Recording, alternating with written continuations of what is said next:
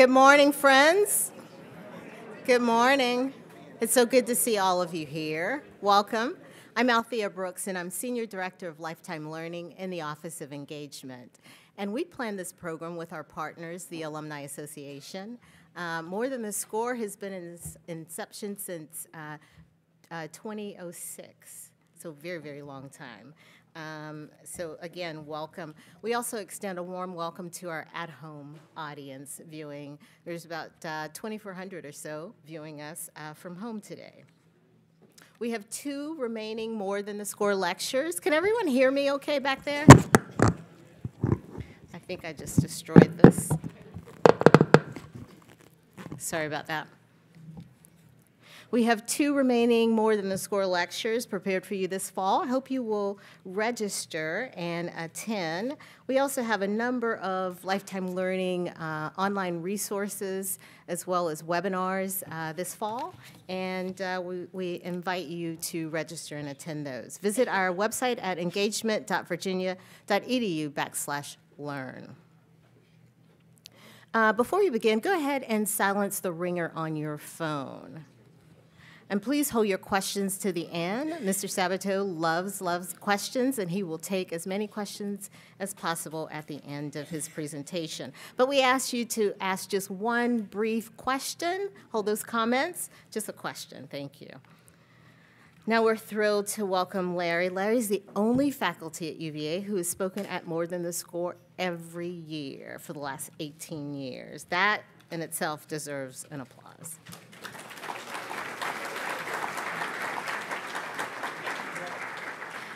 All right, let me briefly introduce a man that does not need introduction. Larry J. Sabato has won four Emmys and is recognized as one of the nation's most respected political analysts. He appears on national and international television networks multiple times a week, including CNN, CNN International, and BBC. He is a Rhodes Scholar. Sabato is the founder and director of the University of Virginia's Center for Politics. He has taught over 20,000 students.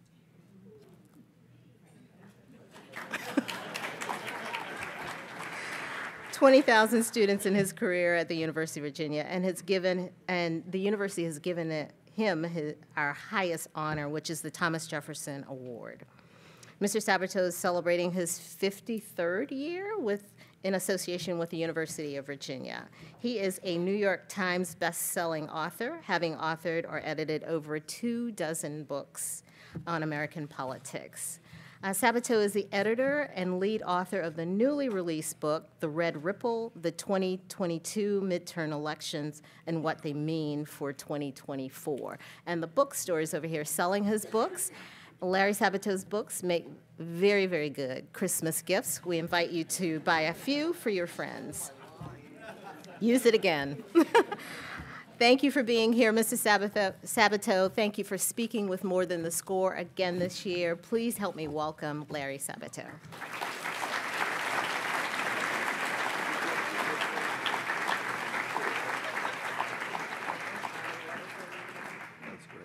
And Althea has done a terrific job with more than the score. I, am she's too young to have been here for the 18 years. Uh, I don't know how many years, but it's been a while, you know. So uh, give her a round of applause.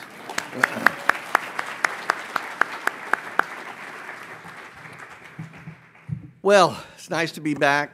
Some of you I only see at these events, so it's a good reason for coming. And I was able to mix with some of you, and I think you were impressed. I remembered every single name. I'm very proud of that. Of course, uh, luckily for me, you're all named Buddy. Uh, and that will, so if I call you Buddy, you'll know I know you. You know, I know you. And really, you do remember people, and may, sometimes you get the first name right, and sometimes the last name right, and sometimes no name right. So, but, Buddy works, thank goodness. There was a, um, old uh, U.S. senator from West Virginia, not Byrd, the other, the other one that was in there for decades, uh, Jennings Randolph. If anybody's from West Virginia remembers Jennings Randolph, though he's been out for ages. But uh, he had a great technique for trying to connect with people he should know or used to, or they think they, that he knows them or whatever. And he said, as long as they're over 50, I'm fine, because while I'm shaking their hand, I say, How's that back problem? Because almost everybody over, and then if they said, Well, I don't have a back problem, you say, Oh, who was it in your family that had a back problem? Who doesn't have a family with people in it who have back problems? So there are all these little techniques, all of them phony, but I just wanted you to know that's politics, you know, big dose of phoniness, uh, but good things too, good things too. Um, I gotta, I gotta mention gluttons for punishment. I've got Evan over here. I've, these two are sitting up front for a change. Uh, for my, they're all in my current class, and there are probably others here, and you can come up later. And then these two, okay, where are you? Yeah, those they're there. They're ninth graders in Richmond, and they came to hear this to hear this address. So. So this will make sure they go to another school. After they see it, they'll say, well, that's, you know, no way am I going through four years of that. Uh, but we hope you come. They told me they're coming, and I told them that it was legally binding because I had witnesses. So I hope admissions will agree. Uh, okay, look, uh, one of the great things about having been around for a while, or really having followed politics for a while, or even being old, is that uh, you can remember so many things that relate to whatever's happening today. You know, when you're young, you think everything's happened for the first time, right? That's the way we all did. But there are always precedents, there are always comparisons uh, to be made, similarities and differences. And when I woke up this morning, and of course, the top news, actually the only news on a couple of the news stations, are about the conflict in the Middle East. Who would have believed there's a conflict in the Middle East? But, and we hope things turn out well and that it's short and all the rest of it for lots of reasons, because the last thing we want is for that to spread. Uh, but uh, Hamas attacked Israel and, and uh, the Israeli intelligence, Mossad, which is usually very good, very good. Uh, they, they just utterly failed. Um, there was not, the, not an inkling that this massive attack was coming, and it, and it has been massive in terms of rockets and also street to street and door to door and all the rest of it in cer certain places. And what it, and listening to them, of course, the anchors have got various Israeli officials there, and they start out with, how did you fail to see this coming? What, you know, what are you going to do about this? How are you going to reform your intelligence services? It just happened a few hours ago. You know, they're going to have a, a commission to study it. That's what always happens in these things, and they get better after they make mistakes. That's, that's the uh, excuse I give to us, too. But it reminded, they kept saying, this is Israel's 9 11. This is Israel's 9 11. Not really. You know what it reminded me of? The Tet Offensive because I think Israel will win in the end. They're bound to, uh, and so, at least mainly they will win. Militarily, yeah. We're not, don't don't question me, sir. this is. If you were in class, you'd already have an F. I'm kidding. I, lo- I love the questions that always come from this group, but um, they were uh, they were questioning them about that. And it reminded me of the Tet Offensive, which the U.S. won. Remember the Tet Offensive in January of 1968 uh, was uh, an unexpected attack from both uh, North Vietnamese troops and Viet Cong troops on most of our bases and installations and major cities in Vietnam. And we had been told for really years, but especially the months before Tet, we see the light at the end of the tunnel. Remember that? We see the light at the end of the tunnel. And it turned out to be an onrushing train. Uh, that was unfortunately what happened there. But we won. We actually uh, won the Tet Offensive because all the attacks were repelled. And while I don't like to talk about people getting killed, but it was a massive number of Viet Cong and Vietnamese soldiers. Uh, but because it was such an intelligence failure, it was judged to have been a failure of the United States, whatever happened militarily. And you remember Walter Cronkite going, I, I, these young people have no idea what I'm talking about. But, you know, and this is just a hint of what's to come, you know, both here and later when you go to college.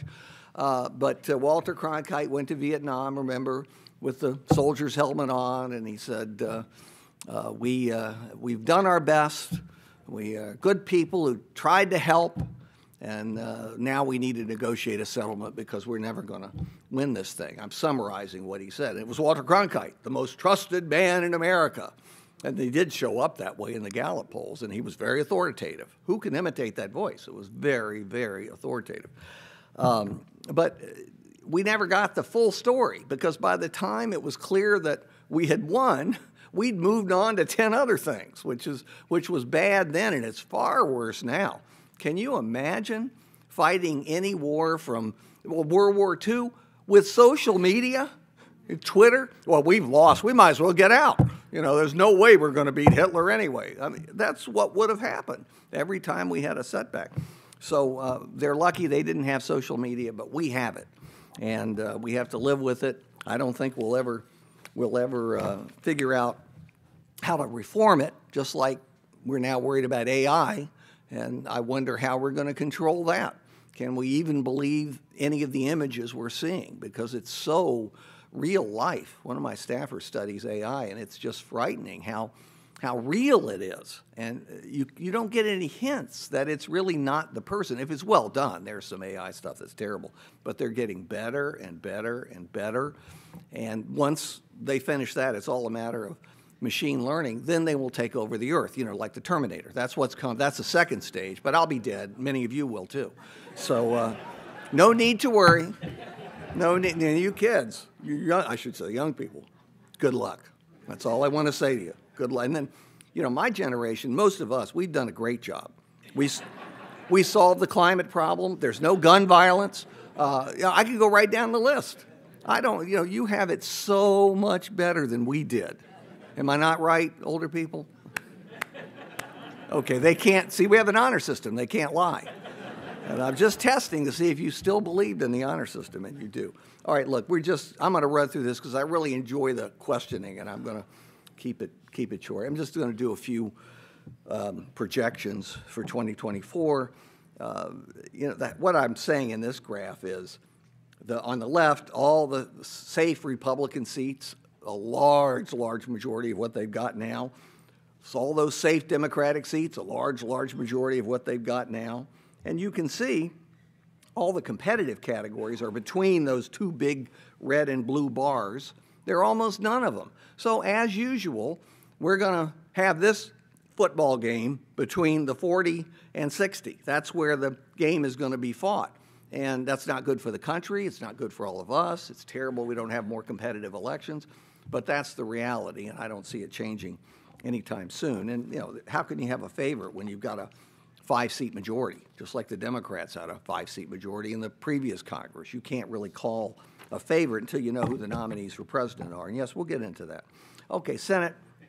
Uh, you know, I tend to think these things will end up probably going in the direction of the presidential race. And if there's an exception, it'll be the Senate because it's so idiosyncratic and you have to look at the individual seats and only a third of them are up. And, uh, and so this is one that look at the map, and uh, if you can summarize all those colors.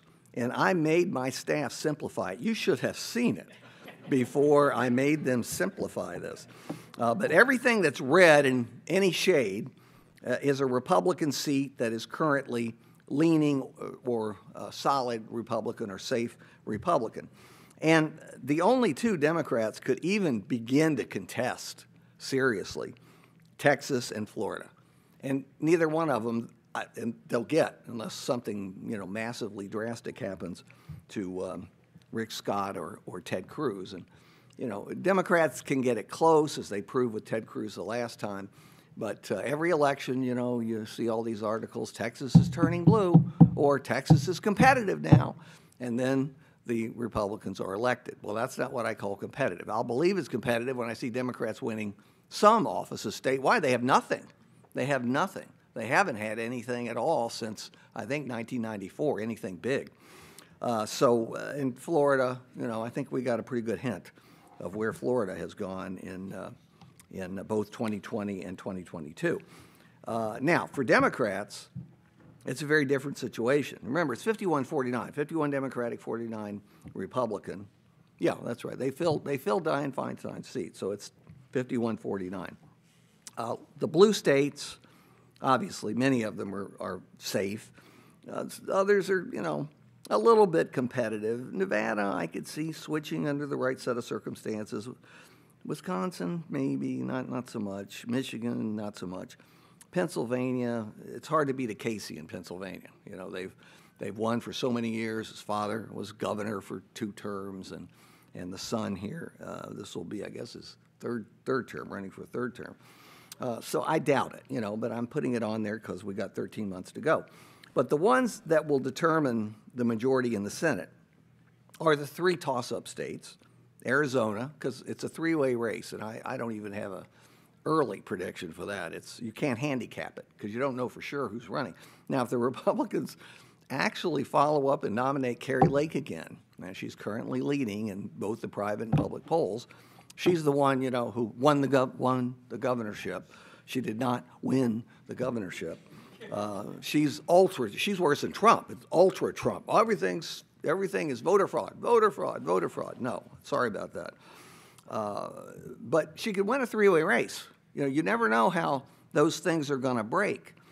Uh, so I don't want to even think about that. Montana, you've got uh, a Democrat who narrowly wins and has had the right set of circumstances repeatedly. But you, again, you never know. It's a 60% Republican state. It's a presidential year. That would require a lot of people to split ticket, and not that many split ticket anymore. Anywhere. They just don't split ticket. Uh, so, in that sense, it's easier to predict, but not really. And Ohio, uh, Sherrod Brown, again, Ohio used to be the ultimate bellwether. In fact, one of our crystal ball staffers uh, wrote a book about the bellwether.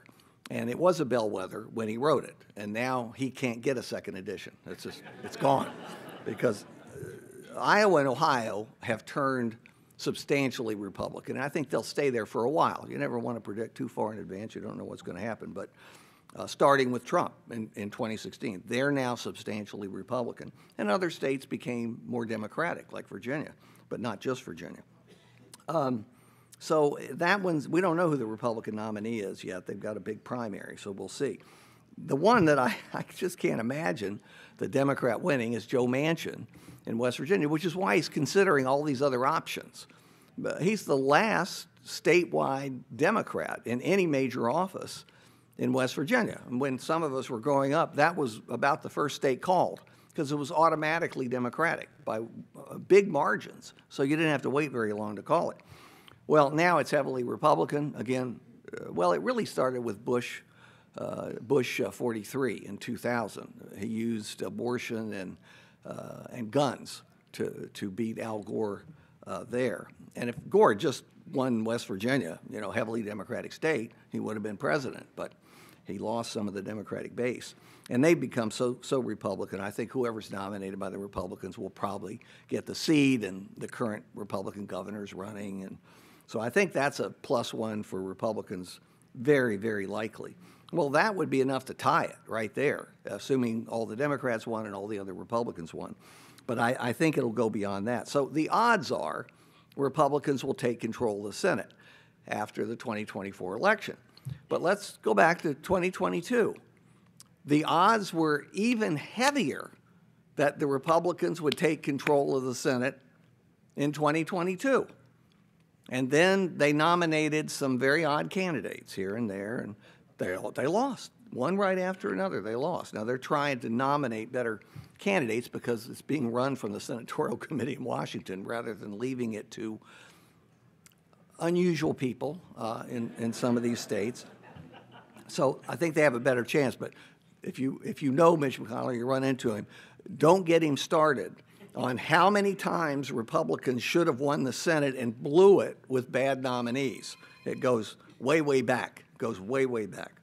So in any event, I think you know you have to lean that to the Republicans, and we'll see. We'll see who's the who the two nominees for president are. That will have some impact, but less because it's only a third of the seats, and Democrats just don't have any targets.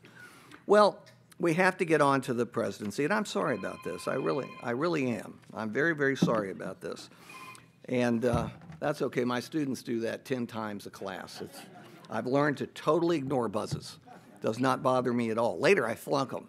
You know, just just so you know. I, I mean, I'm Italian American. I am vindictive. I, I am vindictive, sir. That over there. I'm just letting you know, okay?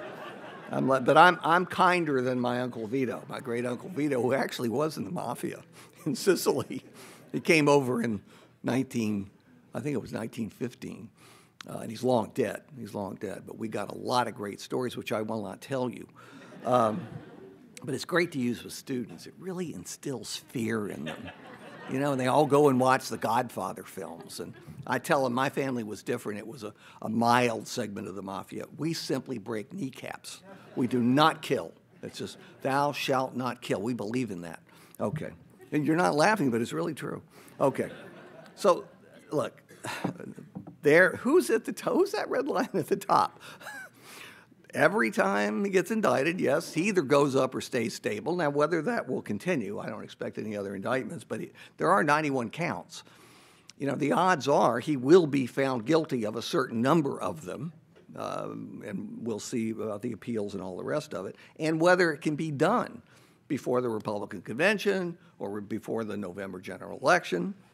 And even if, uh, even if they are not done, they'll have some impact how much depends on the health of both of the nominees and some other uh, factors that I'll discuss in a moment. But I don't even think Trump is an absolute lock to get the nomination the way you'd think if you watched much television. We haven't had a single vote cast. Lots of things can happen, you know, particularly when one guy is 77 and the other guy is 80.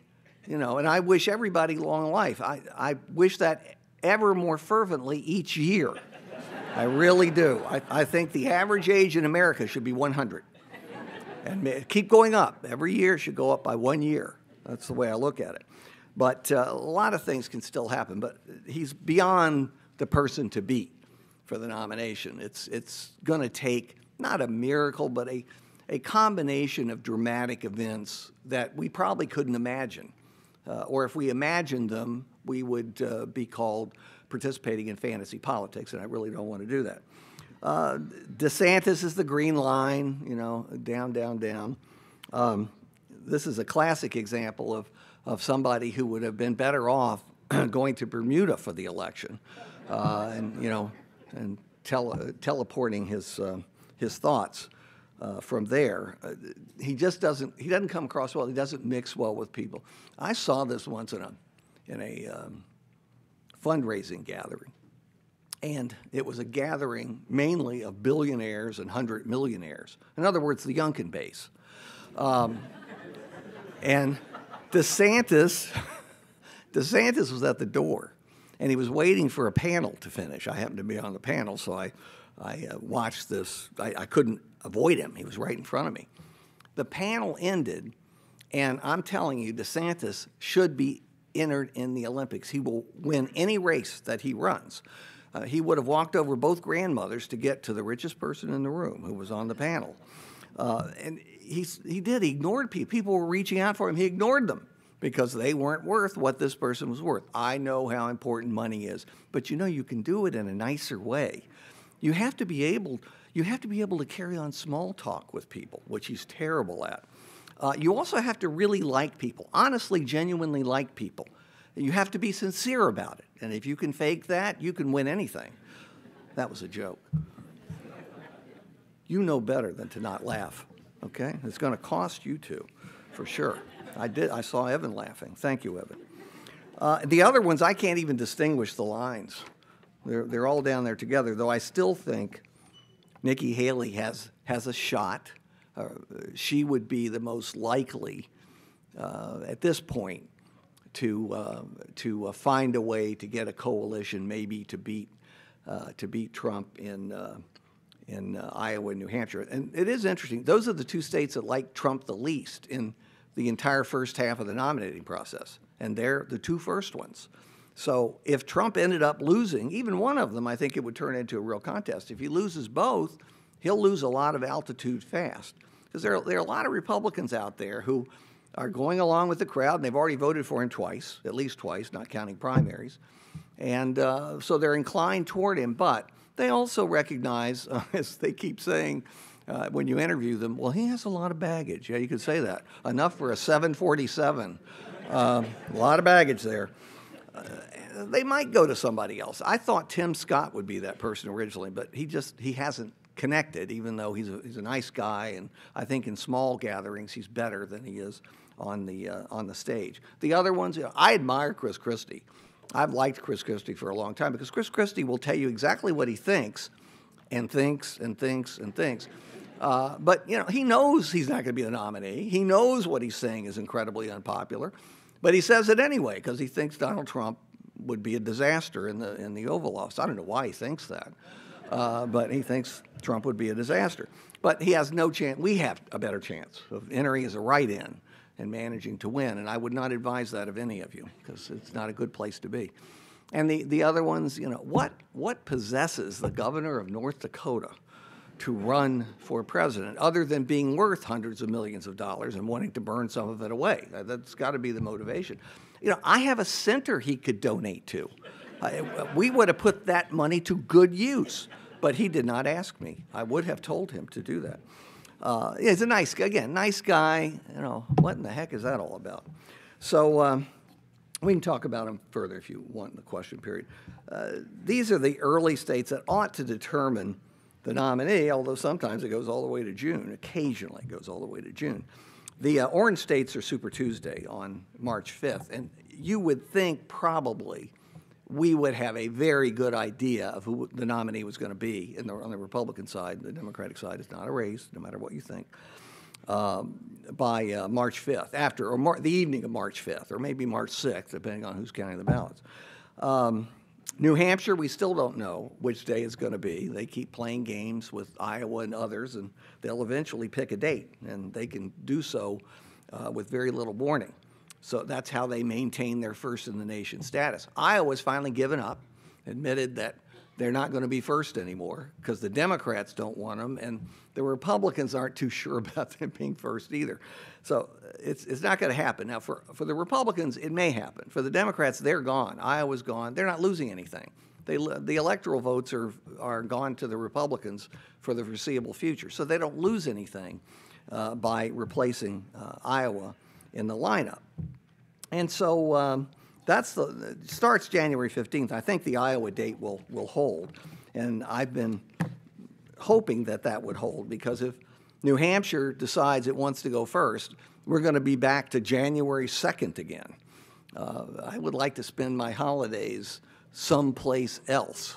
Uh, than uh, New Hampshire and Iowa. They tend they tend to be Iowa, tend to be snowy at that time, but that was before climate change. So maybe that's that's going to change too. All right, quickly, the electoral college ratings. Um, this is this is you know we're we're not guessing about 40 to 44 of these states. Uh, certainly 40, probably 42 are over before they start, as long as it's a competitive race and somebody doesn't um, dissolve for one reason or another. Uh, it's predictable. It's too predictable. It's disturbingly predictable. We need more competition. We're not going to get it for the foreseeable future. All the red states in various uh, colors there are going to vote Republican, and that gives them an automatic total of 235. All the, the blue states there uh, in dark blue, uh, the, the lighter blue ones we can talk about, um, but it gives them, if they carry those, 260. I tend to think their firm total is more like 240, somewhere in that vicinity for this race. And then the toss ups at a minimum are 43, and there are four that both sides agree on that nobody uh, can count on under any circumstances, and that's Arizona, Nevada, Wisconsin, and Georgia. And the, it's the combination of their demographics at this point and their party IDs that make those states incredibly competitive. So both states, both of the uh, major campaigns will spend millions and millions, what did I say, millions, probably billions the way things are going uh, in those states, not just with advertising, but voter contact. I would not want to live in one of those states uh, because you, unless you can turn off all your calls and not miss anybody, like the bill collectors, uh, the, it's just and every every TV. I guess there are ways of cutting out the commercials now, right? I'm I'm still I've got a Motorola Color from the mid '60s, and it still works. I'm not going to replace it. It has sentimental value. You know, at that age, I, I watched Walter I mean, um, yeah, Walt Disney's uh, Wonderful World of Color. You know, that's very sentimental to me. Uh, so nobody's going to take that Motorola away from me.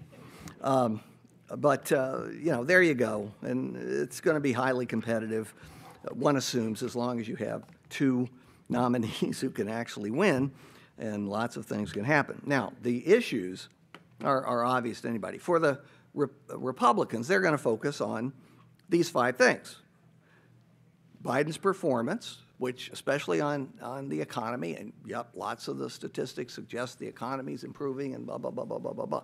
But people have to believe it. You know, they have to believe it. They have to think they're, in Ronald Reagan's phrase, as he turned to Jimmy Carter, are you better off today than you were four years ago? And, and most people in the key state, the key states, have to answer yes. You can still win the states leaning to your party even if they answer no. But in those other states, you have to answer yes. We'll see, you know, and you, you, every other day I see a well-known economist saying we're going to have a recession or we're going to have a soft landing. I wish they'd all get together. They're like meteorologists. You know, they constantly change their forecast, and they count on you not remembering what they said. And of course, we don't because it's the dismal science. Nobody's going to focus on them. People love political analysts. That's who they focus on. I'm having to drag that. I hope you're going to be livelier at the game. so immigration is, you know, immigration's been a problem. The last time we even semi-solved it was when Reagan and Bill Bradley got together in 1986. Ever since then, it's been a problem. Once those reforms uh, deteriorated, uh, Bush tried. He came very, very close in his second term, but it just barely failed. Uh, and I think we would have had a different situation had it passed. But whoever's incumbent is going to suffer from this because it's always a mess. It's always a mess. No matter what your rhetoric is and what your program is and whether you're building a wall or not, or I guess now both sides want to build a wall. I just want to know how much has Mexico paid? What have they paid? Weren't we promised that they would? I thought so. Okay, immigration is there, and that's that's big. Inflation, the economy, that directly relates to Biden performance. Uh, crime is is clearly on the uptick in a lot of urban areas, and people pay attention. They watch the news, and half of it now is about this outrageous crime and this awful crime over there. These things have an impact, even if you, in your area the crime rate's dropping. The impression you get is we are going to be in anarchy very, very soon, and we've got to do something about it. And both parties will, will debate that. But, you know, the combination, leave inflation to the side, as important as it is, because that can change. But immigration and crime uh, remind me so much of some of the elections in the past where Republicans have won when they weren't projected to win when the cycle began. It's a powerful, emotional combination. They're not necessarily related, but people conflate them uh, in their minds.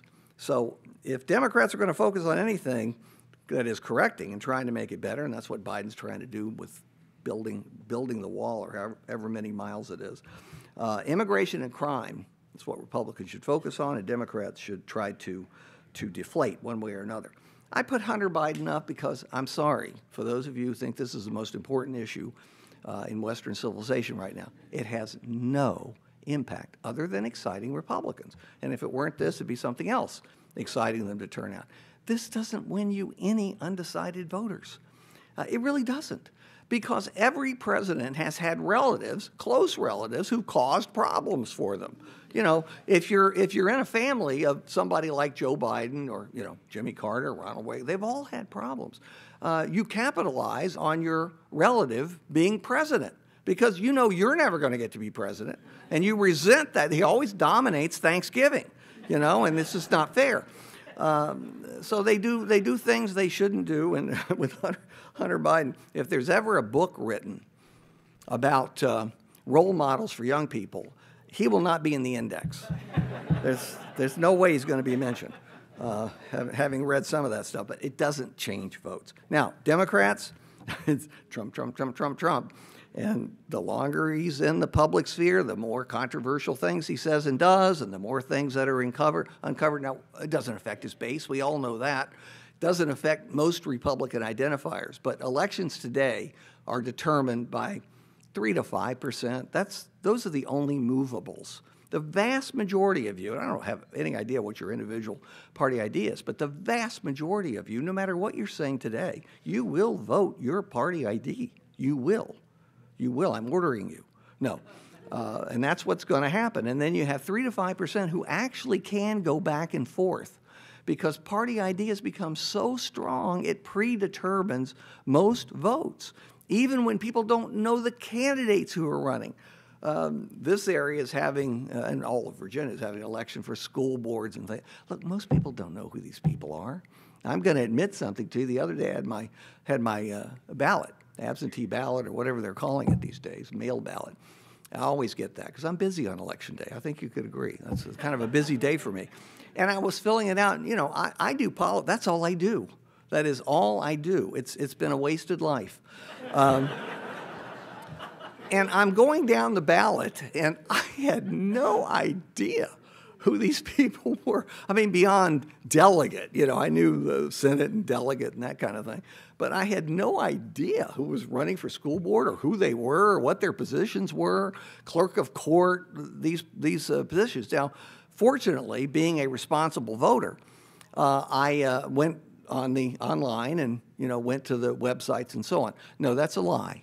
I, I did, and I asked my assistant, if he knew who these people were, and he gave me a short summary, and I voted on that basis. It's so irresponsible. And I did that in order to tell you not to be irresponsible. Do not make the mistakes that I've made. But I'm, I'm sure it's okay, one way or the other. Um, so anyway, we got past the Trump. Uh, Roe v. Wade, obviously, that, that is a, an issue that's going to uh, play for Democrats for a long time to come because every time you turn around, there's another horror story. And it doesn't affect the results in red states. Although I must say, of the five red states that have had referenda of one sort or another on uh, Dobbs, the Dobbs decision, uh, the uh, pro choice side has won every single one of them, even in deep red states. And I think it's going to continue to be a problem of one degree or another for Republicans, certainly in competitive states. You know, you can come up with all the formulations you want about how many weeks and that kind of thing. It doesn't change the fundamental. That is an enormously unpopular decision. Dobbs is already much more unpopular than Roe v. Wade ever was. See, you know, be careful when the dog catches the mail truck. What does he do? You know, he doesn't know what to do. He's been chasing it for years, and he's thrilled to have caught it. And then, you know, he thinks, uh, "What do I get for this?" Uh, and it's the same with, with uh, abortion. Roe v. Wade uh, went the way of uh, pro, uh, pro uh, abortion people, pro, not pro abortion, what am I trying to say? Pro choice people. Thank you. There's so many labels anymore. Uh, pro, I try to use the label that people want to use to describe their positions. I'm not going to get in an argument over the labels. So uh, the pro choice side won, and they relaxed you know, because they had what they wanted, and it was a Supreme Court decision, so obviously it would last forever, which is a terrible assumption to make. And the pro life side said, We're going to reverse this. Sooner or later, we're going to reverse this. And whether you agree with them or not, you got to give them credit. They went after it for 50 years and they finally succeeded, day after day after day. And it motivated some people. That was a single thing they did, you know, and, and they got it done uh, through various means. And now the shoe's on the other foot. Now it's the pro choice side that's outraged and they want to reverse Roe v. Wade. So we'll see. We'll see what happens with Dobbs. It'll take a long time to reverse Dobbs because you've got to have the Supreme Court votes, and Democrats are not going to have those for a long time. So uh, the pro life side can relax there, but where they can't relax is the effect it's having on elections. It also means the Democrats will have that issue for a long time, just like the pro life community had that issue for a long time. Biden's record, we've covered Ukraine, uh, is not going to be a big issue unless American troops are involved. That's always true.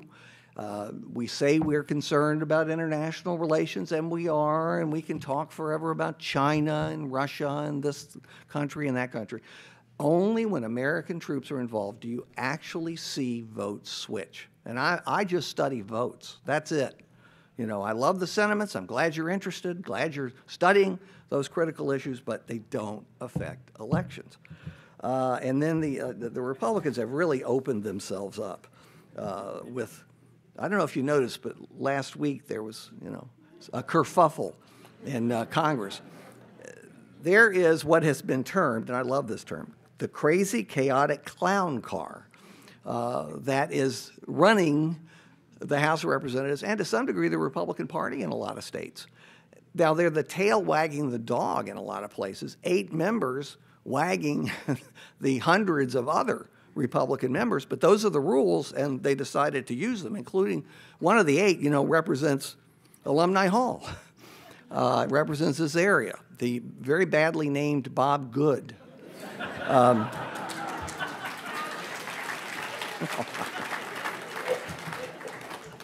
and that's the problem. See, he got, he got elected with 2,500 votes in a convention that had one voting place, one voting place, very, very near Liberty University, where he worked. And that he beat Denver Riggleman, who was a, look at his record, pretty much straight conservative voting, but he had done some bad things on, on social issues outside of Congress, and so they beat him. They beat him. And, and now Bob Good, and then they redistricted.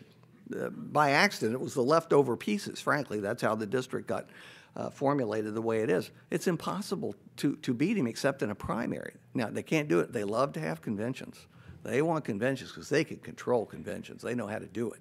And just a small number of people participate. The uber activists come and show up for uh, conventions. But if they had a primary, then there would be a shot, at least, of uh, sending him out to pasture or back to Liberty University, as the case may be. But I don't think I don't think it's going to happen. So he's there, and those of you who live in the fifth, whether you like him or not, you're stuck with him, and that's the way it's going to be. Okay, but the, the clown car image is really not helpful. And it's easy for Democrats to run against that because you just put the clips of all the crazy things that are said and done in Congress. And, and boom, you've got uh, a decent chance of getting all your people out and maybe winning a few independents. All right, quickly, uh, I don't have to tell you this Biden approval rating. He, it really, the lines crossed during Afghanistan, the withdrawal from Afghanistan back in August of uh, his first year as president, 2021.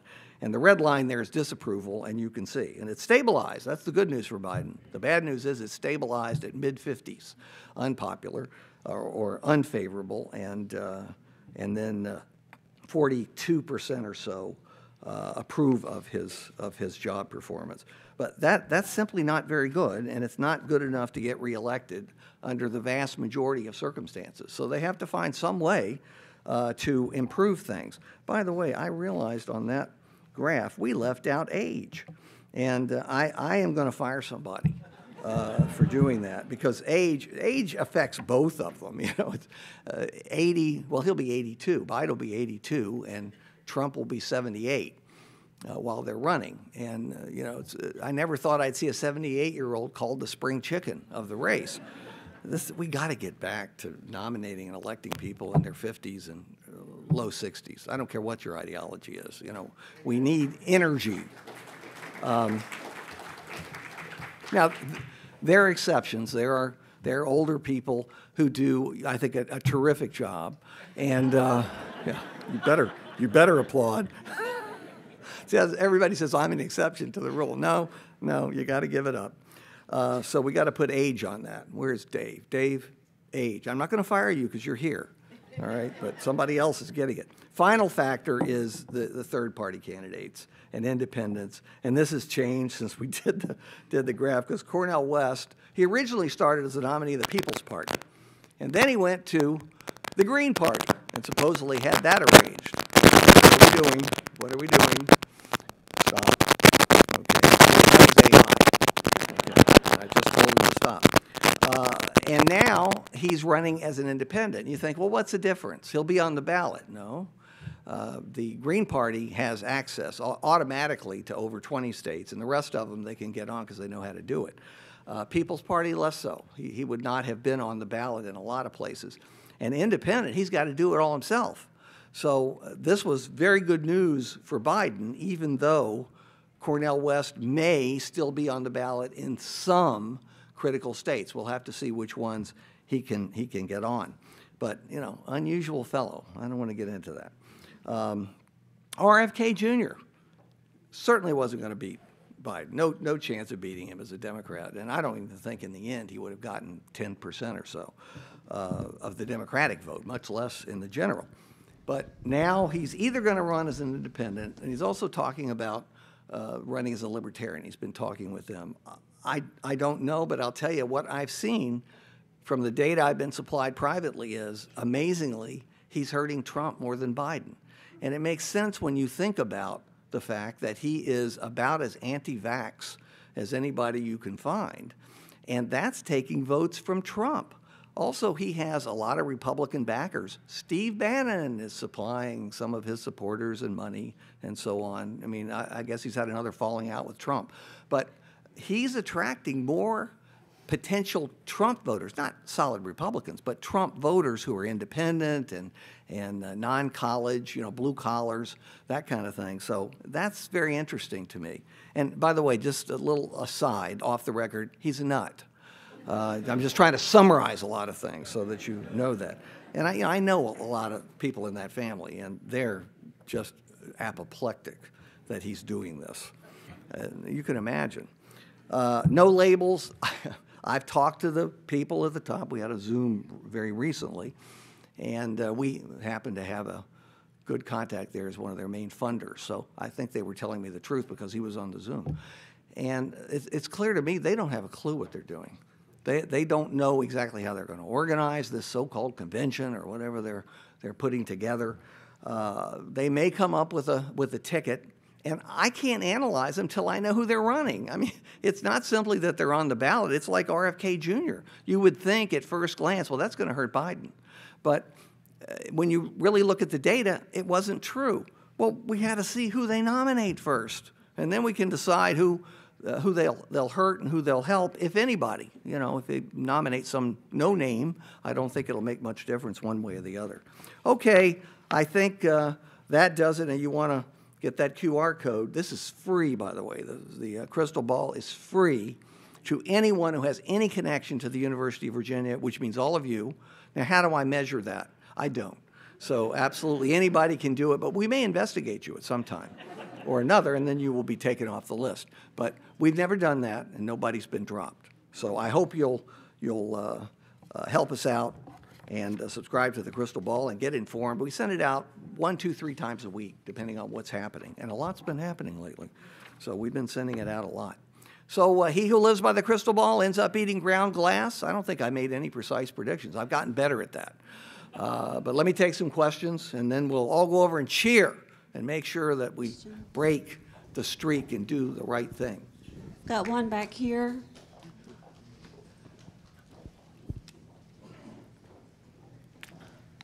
Uh, Hi there. Uh, Speaking of no labels, um, I know you can't analyze the ticket till they pick one, but what do you think, how many states do you think they'll be on the ballot if they do go forward with somebody? Well, they've got enough money to be on all 50 uh, that is pledged to them, and uh, some of them are, are quite wealthy, the backers.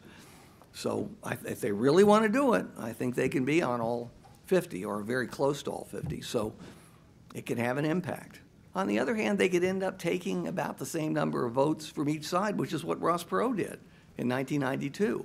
He didn't really affect the balance in the end, though I still say hurt Bush more because he started running and mainly attacked Bush throughout the whole campaign. So even though in the end he drew as many potential Clinton voters as Bush voters, he had lowered Bush uh, in the in the polls enough so that Clinton uh, had him because he was vulnerable to being defeated for other reasons too. But Perot was, was uh, you know, a fellow Texan was fighting a Texan. I used to say there's a, we needed a T-shirt. Uh, it's a Texas thing you wouldn't understand. Uh, and I never did fully understand it, other than jealousy. Who are you calling on? I'm not calling on people, so you all are doing it. Oh, he's got bad. You got to get one of these people with the mics. That's, that's the power. I do not have any. They strip me of all power. Mr. Sabato, uh, Yes, sir. a comment, uh, Manchin could run as an independent, or he could flip to Republican. Uh, and- Or he could uh, do a no labels with the Sinema of Arizona, no. Anyway, my question is this. If you could change one amendment in our current Constitution, or 1A, 1B, 1C, as many as you want, what would you do? I, I am so glad. Did I pay you?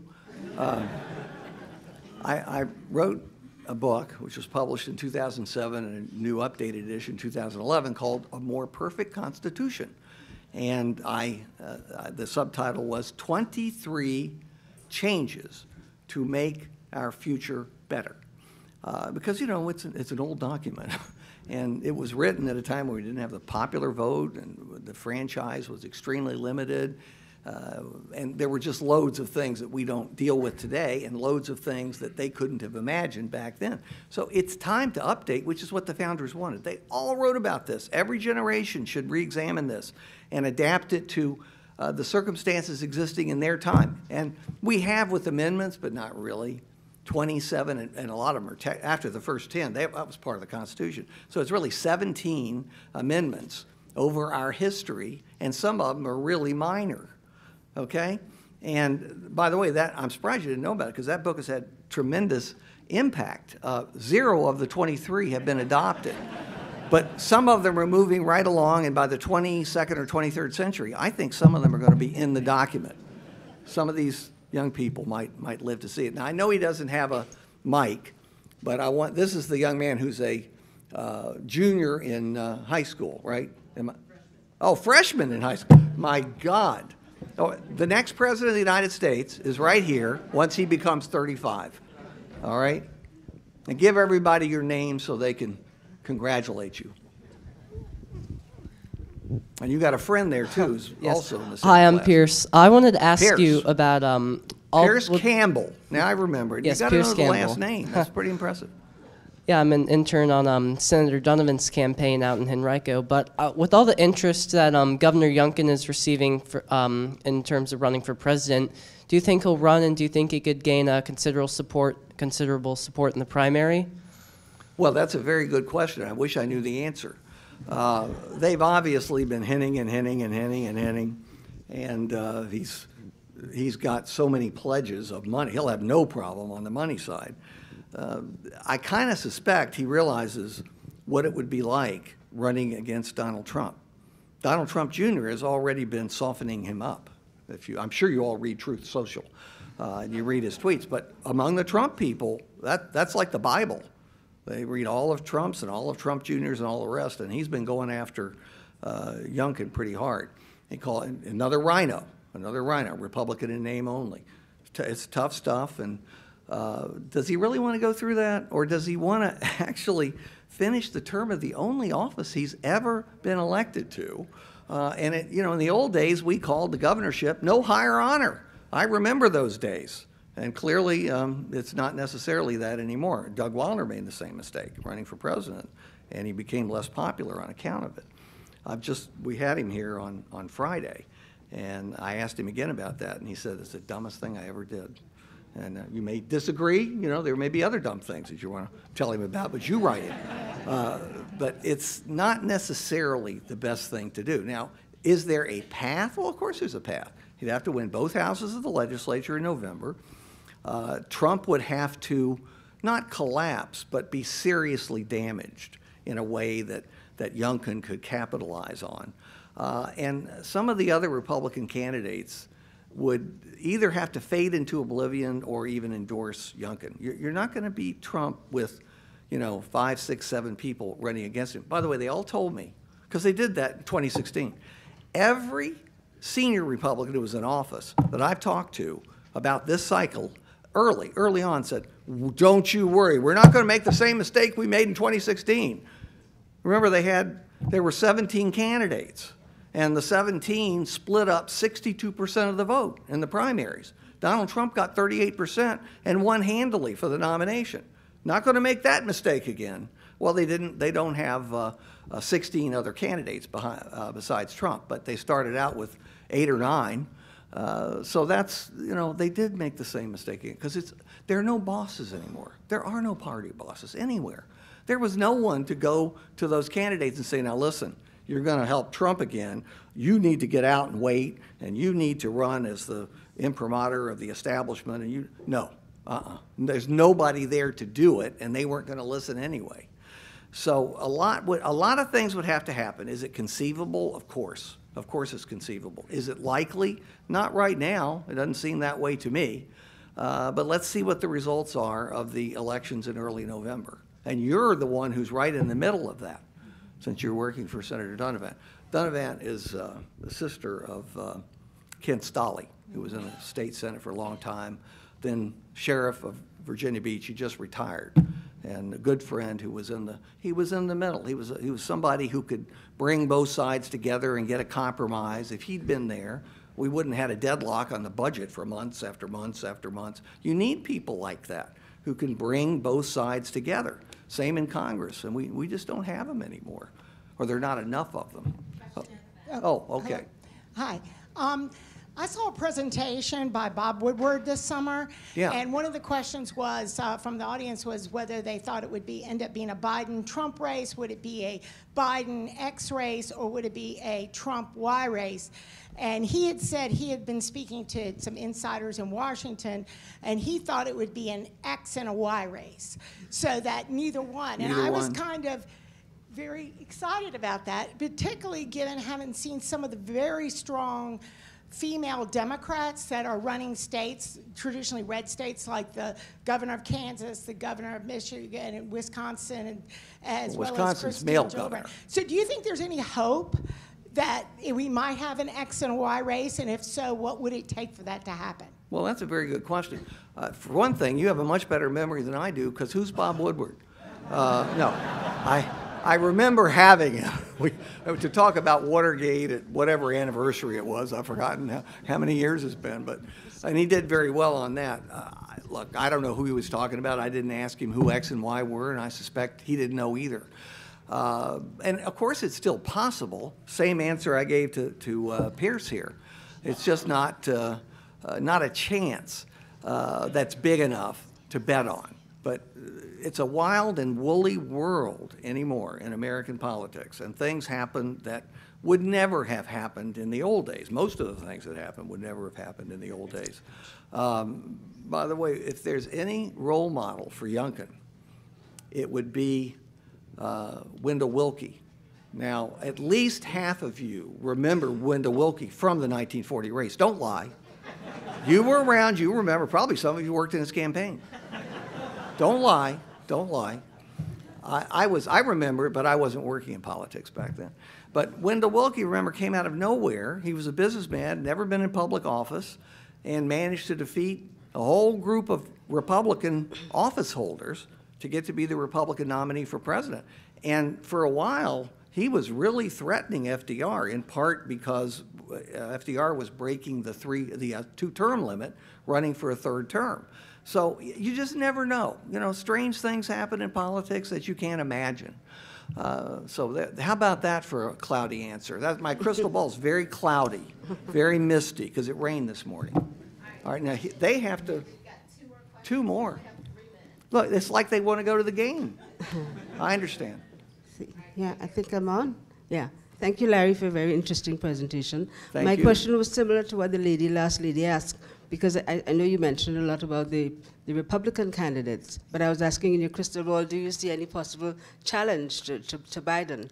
And earlier on you mentioned that you think that marginal seats is not a, such a good thing for the United States, but is it really such a bad thing so that, so that candidates could really fight, you know, for the, for the voters? Oh, If- I'm, if- I'm in favor of Yeah, marginal yeah, okay. uh, races. For one thing, it keeps me in business. Okay, The more good. real races there are, the more I have to run my mouth about. Okay, all right, but I, I guess I can take your answer for the lady about your crystal ball for any possible Yes, the- candidates. on the fir, on the first part. Thank you. Uh, no, thank you so much. On the first part, uh, you know, RFK dropped out. There's another one, Marianne Williamson. Enough said. Um, I'm not getting into it, but no, not a, not a serious challenger. Can there be somebody, look, it would have to be a health issue. And, and that is present for both Biden and, and Trump. You know, it is. Uh, Biden, I watch his, I watch him, I watch the speeches when I have time. I don't watch all of them, but the one yesterday, I was, I had the TV on. Uh, and he, to say he was stiff is to insult stiffness. Uh, you know, I mean, he could barely get those words out. And uh, now, I've been told, and, and I do believe this because there are people that I trust and have worked with for many years, and they say that his mind works much better than his body does.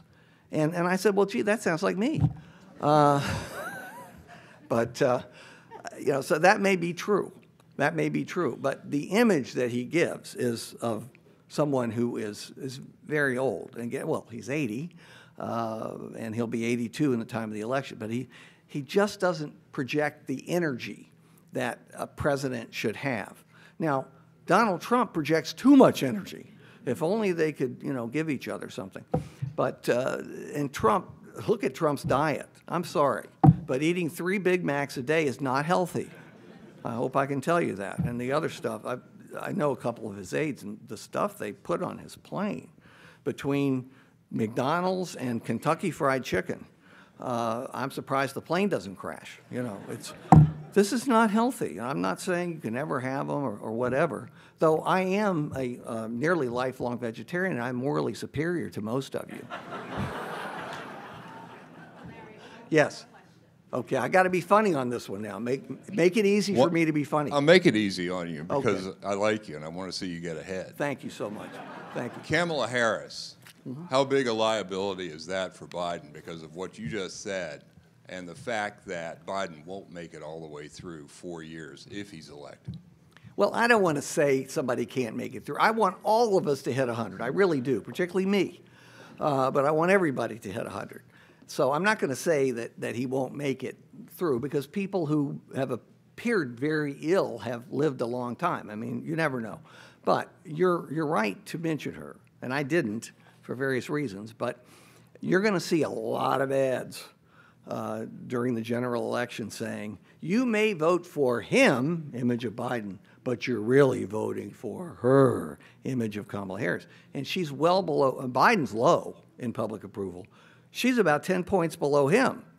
And so if people get that idea in their heads, which it is not hard to imagine it happening, even though I said I don't wish ill health on anybody for any reason. Uh, but it's easy to imagine that might happen, and she's unpopular. Uh, so it could it could make a difference. You know, we, we're talking about a few thousand votes in a handful of states. Remember, Trump only lost the election in 2020. Really, he lost overall by seven plus million votes. He only lost by 45,000 because in the key states that were close, it would have been enough to put him over the top in the electoral college, and they totaled 45,000 votes. So that's the electoral college system. May be good, may be bad. I've told people for years, uh, you know, I don't want to see you waste your lives, so don't even try to change it because it's not going to change. The small states are not going to permit it to change. Now, it is officially on the calendar. I mentioned this to you before for those who've been here. It's on the calendar. The Electoral College is going to dissolve on the 12th of never. See? So remember that. Thank you, sir. That enable, I got a tiny little laugh, but I'm so starved for it because of class. Thank you so much. Thank you all for joining us here live and also online. And on behalf of the Alumni Association and the Lifetime Learning Program, special thank you to Larry. Uh, be sure to stop by the bookstore. They've got the Red Ripple here. And um, our next event is November 4th. We'll be talking about artificial intelligence. Have a good day. Speak of the devil,